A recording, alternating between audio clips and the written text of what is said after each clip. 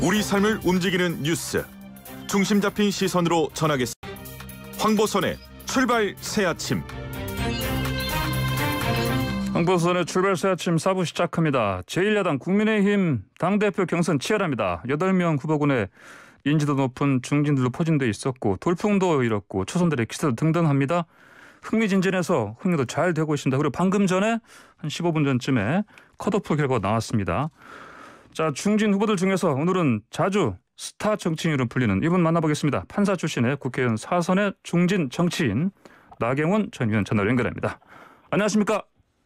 네, 안녕하세요. 예, 그 방금 전에 그 컷오프 결과 나왔습니다. 축하드립니다. 네, 고맙습니다. 예, 다섯 명 됐네요 보니까요. 예, 예, 예. 이게 근데 하루 지금 연기가 돼서 원래 어제 발표됐으면 그때도 나, 의원님 그 당연히 통과하시는 거 아니었습니까? 어제 여론조사 샘플링에 문제가 있었나 봅니다. 그래서 예. 다소 발표가 어. 늦어졌던 것 같고요. 예, 뭐 어제와 오- 오늘의 뭐 어제는 샘플링이 안 됐으니까 결과 발표가 어려웠을 것이고요. 예. 예, 네, 예. 만약에 그렇습니다. 어제 뭐 예정대로 발표됐더라면 이제 통과하셨더라면 오늘 지금 아침 시간에 뭐 원래 뭐 하실 계획이셨습니까? 지금 시간에? 어, 오늘 지금부터 이제 예. 부지런히 또 어, 더 많은 네. 민심과 당심을 들으러 다니는 음. 노력을 했겠죠. 예. 뭐, 뭐 국- 저 정치인의 가장 중요한 덕목은 저는 네네. 이야기하는 것보다 듣는 거다 늘 이야기하는데요. 예. 어, 뭐 요새 언론에 나타난 민심 네. 또는 직접 느끼는 민심들을 잘 모아서 앞으로 당 대표가 된다면 꼭 대선 승리를 위해서 우리 당이 해야 될 일이 무엇인지 많은 네. 생각을 하면서 요새 선거 운동하고 다니고 있습니다. 그렇습니까? 알겠습니다. 네. 그 방금 전에 그 국민의힘 선관위에서 발표할 때요. 어, 네. 나경원 후보님을 가장 먼저 호명했습니다. 가나다 순으로 발표했다고 예, 들었습니다. 1등이라는 뜻으로 해석하고 싶으진 않으시고요. 예, 알겠습니다. 뭐, 저, 예. 제가 아직 뭐 결과는 못 봤는데요. 예, 예. 가나다 순이라고 누가 이야기해 주더라고요. 알겠습니다. 보니까 뭐 네. 여론조사 수치는 발표는 안 한다고 하더라고요. 보니까요. 예, 예, 알겠습니다. 그렇군요. 네. 오늘 오늘은 어떤 계획 일정 있으십니까? 오늘은 어 오늘은 서울 시당에서 당원 예. 위원장들과 뭐 같이 하는 간담회가 있고요. 그 예, 다음에는 예. 오늘은 대구 방문 계획이 있습니다. 그래서 어, 예. 대구에 다녀올 예정이다. 예. 라는 말씀을 드립니다. 알겠습니다. 오늘 근데 보니까 그 국민의힘 긴급 의원총회 열리네요. 보니까요. 예, 예, 예. 이게- 뭐 저는 요새 원외 위원장이다 보니까 예, 그렇더라도요. 예, 이게 보니까- 아닙니다. 참석대는 아니시지만 이게 보니까 이게 열리게 된 이유가 그 경선 룰 때문에 그런 거지 않습니까? 이게. 네, 예, 예. 그래서 네. 나온 내용이 봤더니 여론조사에서 그 역선택 방지하는 조항 네. 이것 때문에 보니까 그 이른바 신예 그리고 중진 후보들 간에 견해 차가 있는 것 같습니다. 보니까. 저는 뭐 이게 누구한테 꼭 유리하다고는 말씀드리기 어려울 것 같습니다. 근데 이게 예. 원칙의 문제라고 생각을 하는데요. 예, 예. 어, 뭐 제가 최근 여론조사를 보면 그 조항이 역선택 방지 조항이 이번에는 오히려 음, 저한테 예. 없는 게 더 유리할 수도 있겠더라고요. 어떤 어. 여론조사를 보니까. 예. 근데 아, 그렇습니까? 예. 사실은 예. 그게 유불리의 문제가 아니라 원칙의 문제라고 생각을 합니다. 그러나 제가 뭐 여기서 말과알부는 하지 않겠습니다. 정해진 대로 따라가겠습니다. 아, 네. 예, 알겠습니다. 음, 그 네. 저기 유경준 의원이요. 그 네. 호남 청년 그리고 다른 당 지지자들 배제된 현행들에 대한 문제 제기를 했는데 이건 좀 어떻게 보십니까? 이게 그 그러니까 이제 역선택 방지 조항이 다른 당 지지자를 배제하는 것인데요. 음. 이거는 당 대표를 뽑는 거거든요. 예. 당 대표는 정당의 대표를 뽑는 것이기 때문에 예. 어, 실질적으로 다른 당 지지자들이 우리 당 당 대표를 뽑는다는 거는 조금 문제가 있지 않을까 이렇게 아, 생각을 하고요. 예. 그 호남과 청년 문제는 다른 것이 아니라 우리 당 당원 중에 호남 비율이 너무 낮고 청년 비율이 너무 낮습니다. 그래서 그런 부분을 앞으로 우리가 보완해서 더 많이 외연을 확장하는 데 노력해야 되는 것이 현실이고 예. 지금 현실이 그렇게 어, 청년과 호남이 적은 것에 대해서는 우리가 많이 반성해야 된다. 음, 그런데 그분들에게만 더 많은 포션을 드렸을 때는 일종의 뭐 등가성 문제가 나중에 있을 수 있기 때문에 예. 현실적으로는 어 그것을 지금 뭐 룰의 문제로 뭐 또는 표, 표본 추- 추출의 문제로 제기하기에는 조금 예. 적절치 않다 이렇게 봅니다. 예.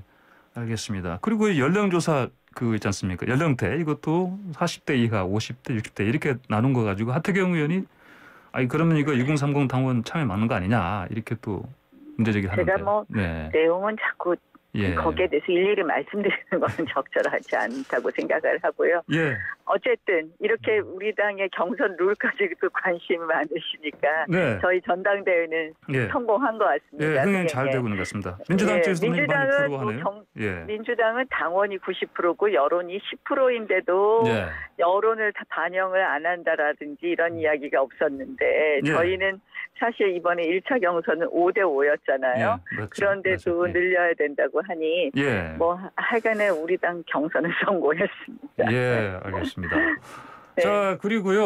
어, 네. 뭐 이제 컷오프에서 저 들지는 못했습니다만 지금 이번에 이제 이준석 최고위원은 들었고 근데 뭐 김웅 김은혜 초선 의원은 못 들었는데 어쨌든 이번에 그 이런 초선 영선 이른바 젊은 세대 초선의 어떤 돌풍 이게 지금 뭐 언론의 주목을 받고 있는데 본선에서도 이렇게 계속 이어지겠습니까? 어떻게 보십니까? 음, 아무래도 이제 세 분 중에서 두 분이 탈락했기 때문에 예. 이제 조금은 어, 그 음. 문제는 예. 이제 그렇게 이어질지는 잘 모르겠습니다. 어쨌든 세 분의 선전에 대해서 저는 굉장히 고무적이다 생각을 하고요. 예. 그거는 아마 어, 우리 당이 많이 바뀌고 좀더더 많은 세대를 아울러라 이런 메시지라고 보고요. 예. 저는 뭐 이번에 가장 중요한 것은 이런 변화와 세대 통합의 메시지를 당 대표가 되면 잘 담아내는 것이 중요하겠다 음. 이렇게 생각하고 있습니다. 예, 알겠습니다. 자, 그런데 이렇게 거의 뭐 흥행 돌풍, 돌풍처럼 이렇게 잘, 어, 정말 말씀하신 대로 흥행 가도 이어가고 있는데 갑자기 그 개파 얘기가 나와서 좀 그런 것 같습니다.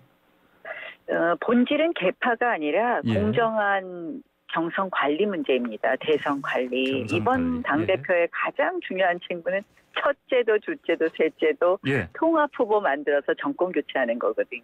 예. 그런데 이제 음, 어, 뭐 유승민계의 대표격이다라고 2주 전까지 발언한 분이 예. 당 대표를 하는 경우에 아 그러면 다른 대선 주자로서는 불안하지 않겠느냐.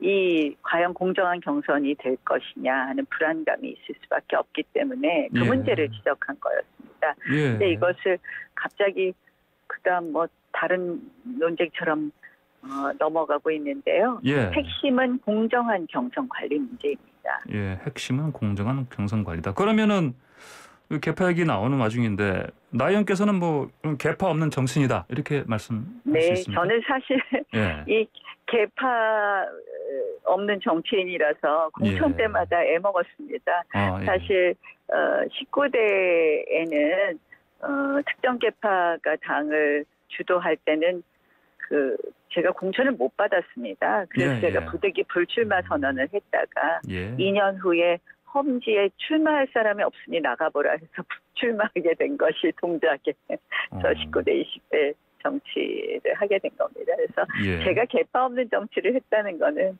다 네. 아십니다. 예. 어, 그러면 이제 그래서 개파는 그런 만큼 네. 어떻게 보면 중립적으로 어, 어, 아주 공정하게 대선 관리를 할 수 있다 이렇게 자신 있게 말씀드릴 수 있습니다. 예, 알겠습니다. 당 대표가 되신다면은 정말 공정하게 경선 대선 경선 관리를 하실 수 있다 이런 말씀이시네요. 네, 그 근데 좀 언론에서 자꾸 나오는 얘기니까 이거 여쭤봐야 되겠습니다. 주호영 의원께서 뭐 찌질한 구태 정치라 뭐 비판했던 거요. 이거 저거 아니겠습니까? 그 이준석 전 최고위원 그다음에 김웅 의원 탈락한 겨냥하신 것 같은데. 근데 이제 나 의원께서도 예. 뭐나 의원께서는 특정 개파 당 대표면 안 된다 이런 말씀 아까 말씀하신 것처럼 하셨고요. 예, 말씀해 주시죠. 나 의원님. 자, 나 의원님. 예.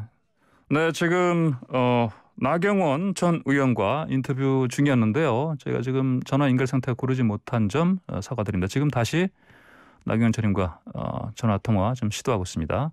나경원 전 의원님 나와 계십니까? 네, 예, 예. 어, 전화가 예. 방금 같이 끊어졌습니다. 네, 네, 네.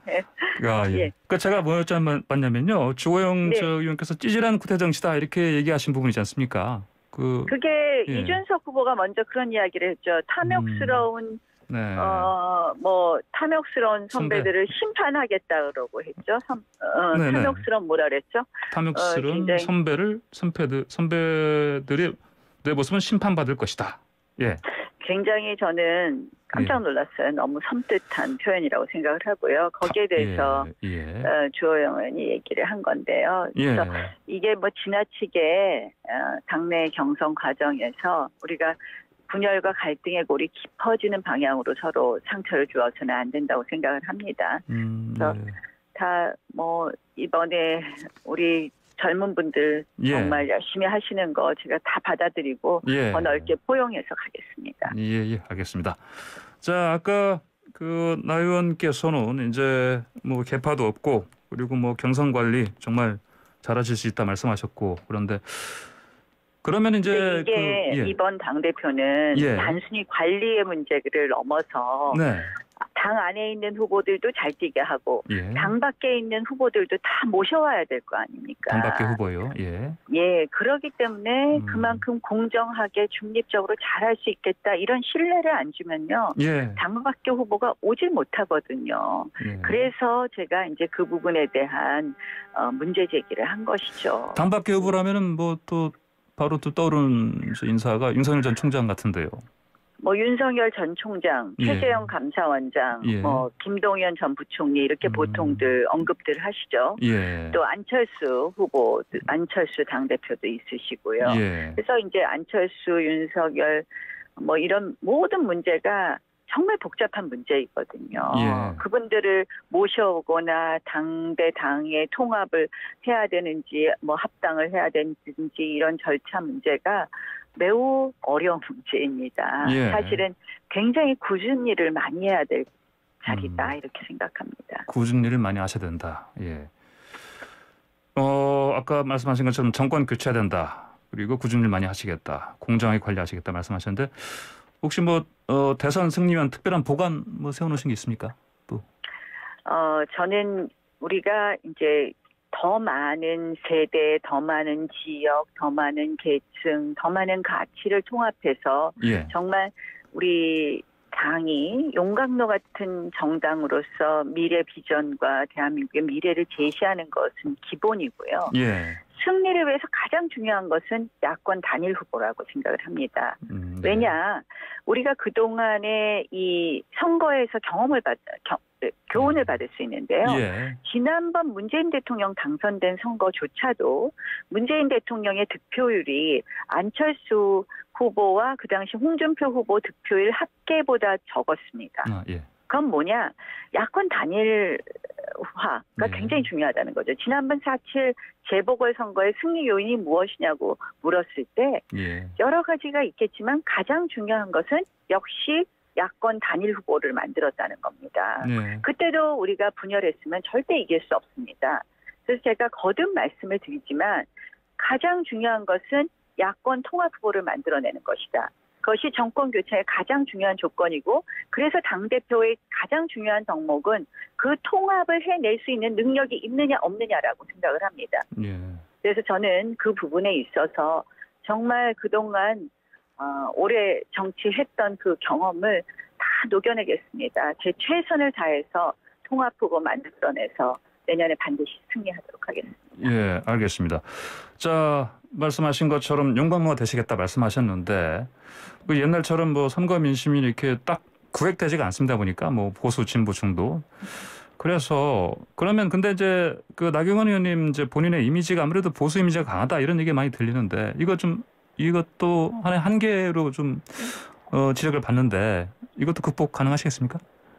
그 제가 이제 원내대표 했을 때 역할 때문에 말씀들 하시는데요. 네, 네, 그 네. 시대는 엄혹한 시절이었기 때문에 제가 예. 책임져야 될 부분을 책임진 것입니다. 예. 또 그때 저희가 가장 그 관심 가졌던 것은 공수처 설치와 관련된 것이었는데요. 예. 그것은 보수 진보의 논리가 아닙니다. 음. 대한민국 법치의 문제인데요. 지금 사실 다 그대로 드러나고 있지 않습니까? 공수처가 얼마나 지금 이 대한민국 권력 관련된 수사를 다 가져가서 우물딱 주물딱 할 수 있는지를 예. 어, 얼마 전에 황제 조사에서 보여줬고요. 예. 또 지금 검찰총장 임명 전에 박범계 법무부 장관이 하는 이 검찰의 수사권에 있어서 검찰총장의 허가를 받게 한다는 예. 이러한 정말 상상할 수 없는 일들이 벌어지고 있는 것을 예단하고 막았던 것입니다. 그래서 이 부분에 대해서는 제가 그 시대에 했었던 책임을 네. 다했던 것이다 이렇게 말씀드릴 수 있습니다. 네, 알겠습니다. 오늘 말씀은 여기까지만 듣겠습니다. 감사합니다. 예, 고맙습니다. 네, 지금까지 나경원 전 국민의힘 의원이었습니다.